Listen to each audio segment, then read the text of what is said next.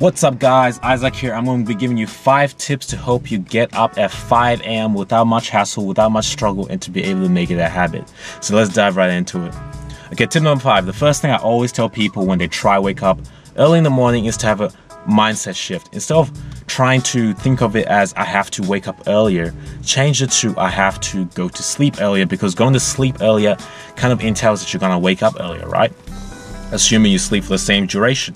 So an easy way to go about this is to ease into it, right? So every night try go to sleep 20 minutes earlier than what you usually do and set your alarm for 20 minutes earlier as well.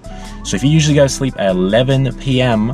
and you want to wake up at 5 a.m., go to sleep at 11 uh, at 10:50 or 10:40 the next day, right? And then the day after that, go to sleep at 10:20 the next day, 10 o'clock, and kind of gradually ease into it. Because what this is going to do is going to make a smooth transition for you. You're not going to have to worry about it. It's going to be really easy to wake up at that new time. There's not much of a difference. So that's the first tip I give people.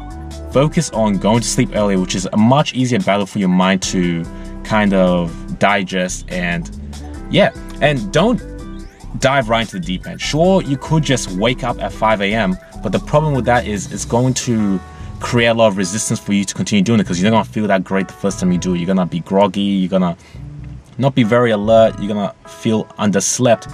So you wanna try resist that. You wanna make this an easy thing for your mind to digest, an easy for, thing for you to make a habit. So do the gradual process of going to sleep earlier. Okay, tip number four. Have an evening routine. A lot of people have morning routines, things that they do when they wake up to get the day started.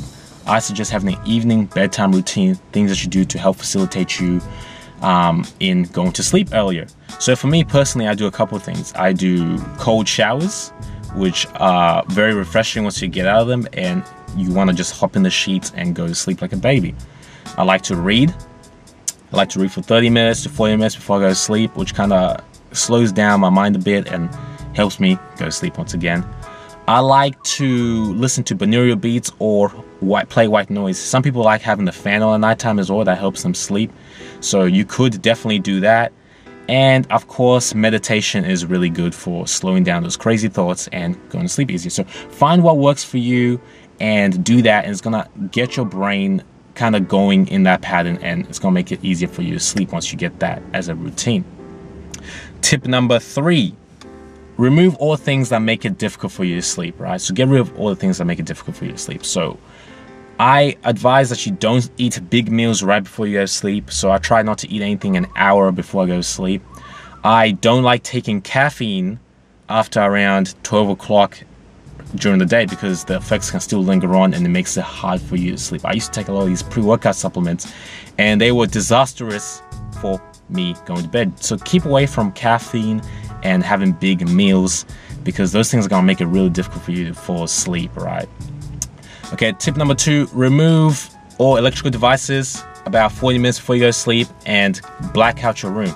So a lot of us, we like to play on our phones, play on our iPads and phones and whatever right before we go to sleep, but this kind of gets our mind still in this alert state that's not gonna help us go to sleep. So the best thing you can do is get rid of all your iPads, your phones, your and also those, you know, those little annoying lights you see on your TV, those LED lights, the things you see on your Xbox 360 when they are still on standby.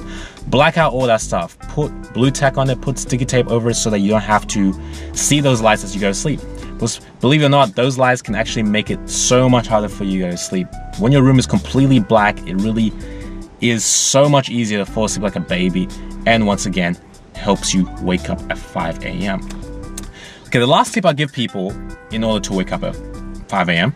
or wake up early, whatever time you want, is set your alarm, set three alarms, right? For that time and maybe five minutes beforehand. And make sure that your phone is across from the room. So don't have your phone in arm's reach. Half the battle of getting up is actually just getting up. If the phone's near us, we're gonna hit snooze always. Especially because we can't think straight in the morning. All we want to do is get back to sleep.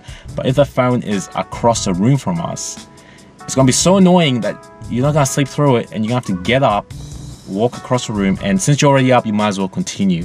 That's half the battle done. And it's going to be really hard for you to get back in bed after that if you really have waking up at 5 a.m. as a goal. So set your alarm out of arm's reach. and set multiple alarms in case you're one of these people that likes to sleep through alarms. So those are my five tips for getting up at 5 a.m. Do each one of these things, and you're definitely going to be able to wake up at whatever time you want without much hurdles, much resistance. I'll be seeing you guys next time. Peace.